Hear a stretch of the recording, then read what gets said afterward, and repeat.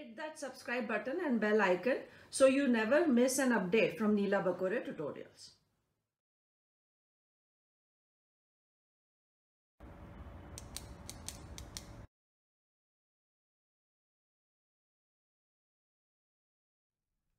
In this video, we'll study the detailed structure of the sporophyte of the pteridophyte. And we are talking about the example that is of the fern.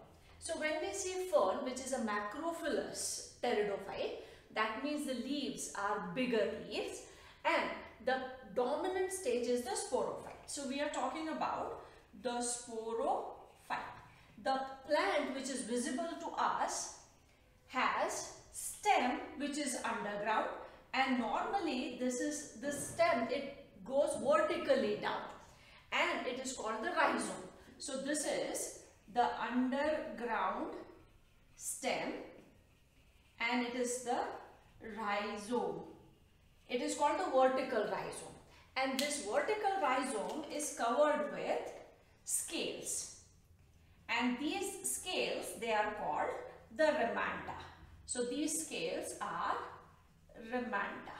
The roots arise from the stem that means they are adventitious roots. So from here we would find adventitious roots arising. That means the part of the plant or sporophyte which is visible to us is only the leafy part.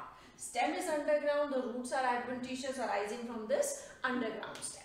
Now the upper part which is visible, we find that there are these long large leaves and the younger leaves they remain coiled.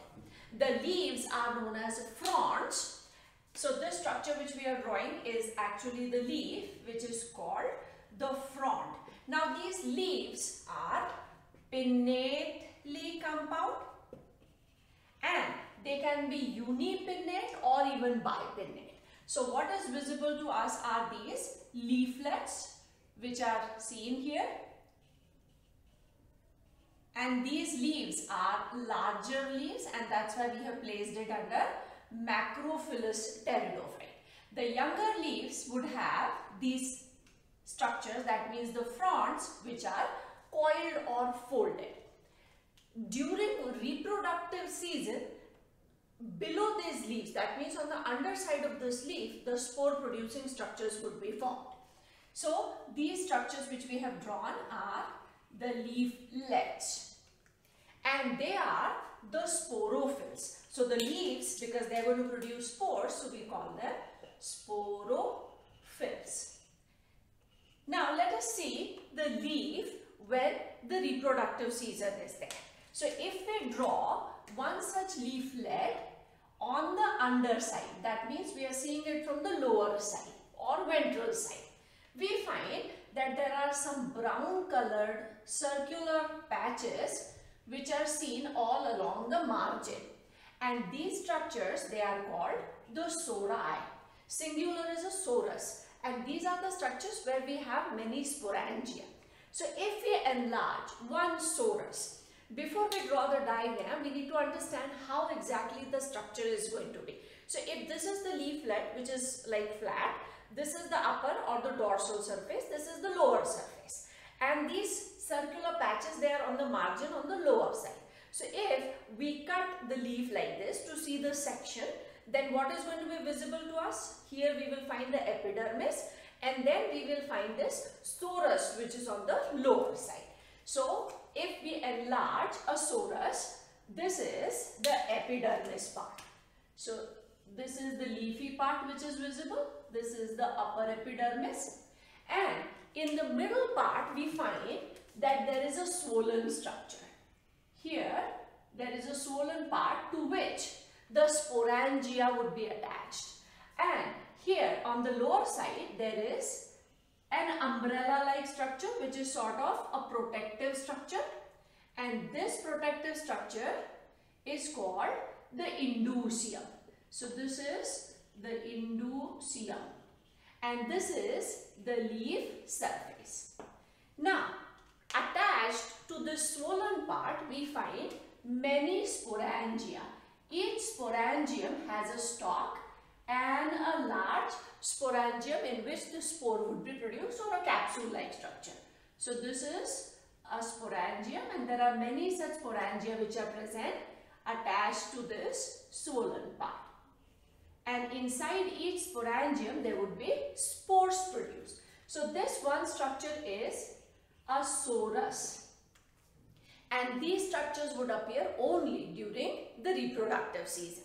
So when the spore formation season uh, reaches, that is the time this structure is seen. Now if this structure is the sporangium. Now if we enlarge the sporangium, we find that there is a stalk.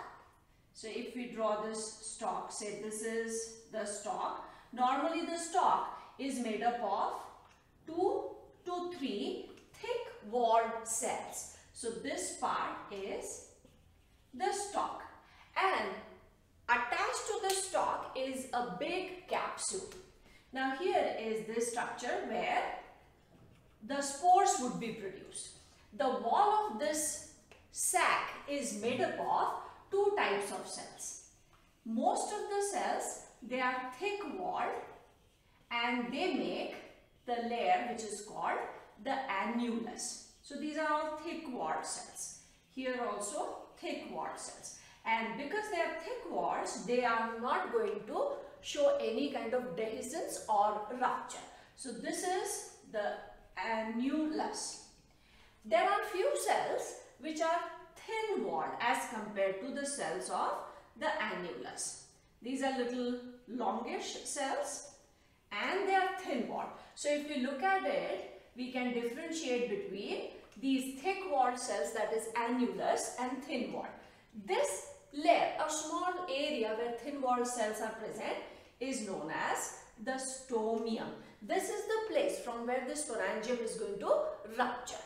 Now, inside the sporangium are present the spore mother cells.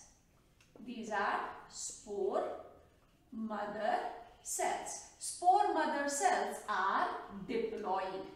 That means the sporophyte is a diploid plant. It produces the sporangia during breeding season or reproductive season.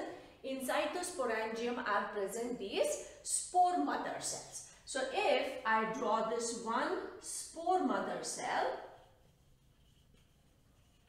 which is a diploid cell, it is going to undergo meiosis to produce four haploid spores. So these are spores which are haploid and then they would separate. Initially they may remain attached but then they are going to separate. The spores because they are produced due to this meiotic division, the spores are haploid and these spores on germination would give rise to the gametophyte which is the heart-shaped prothallus. The structure of this gametophyte we will discuss in the next video. But here, the spores which are produced, they all can be identical or they can be different also. That means the spores, if they are identical, let me write it here. The spores, if they are all identical, then the condition is known as homosporous. Homosporous. Most of the pteridophytes are homosporous. So this is the most common case that is in most pteridophytes. And if the spores are different, then the condition, that means if they are different, then the condition is known as heterosporous. And heterosporous condition is seen specially in, so here I am writing the examples that is Selaginella and Salvinia. In these two types of pteridophytes, we find heterosporous condition but most of the pteridophytes, they are homosporous. And the spore which is produced is inside the sporangium from the spore mother cell which undergoes a meiotic division. All these sporangia grow on the underside of the leaf in a structure which is called the sorus. And this umbrella-like structure, it actually protects all these sporangia. So this is the leaflet under which on the margin we find these sori in which these spore, uh, in this the spore formation takes place. The spores they fall on the soil and they germinate to give rise to this gametophyte. So gametophyte is going to grow separately by the germination of spores. This is the gametophyte which will be formed and on the gametophyte we will have the gamete producing structures that means sex organs. It will produce those gametes. Fertilization would take place to form a zygote and that zygote will then give rise to this. So this link we will see when we talk about the complete life cycle. But here we are talking about the sporophyte which is the dominant stage of the life cycle of pteridophyte. And we have seen that the spores are formed and on germination they are going to give rise to the gametophyte. Now in the next video we'll talk about how this gametophyte looks, where are the antheridia and archegonia and then we will take up the further development of the, the gametophyte.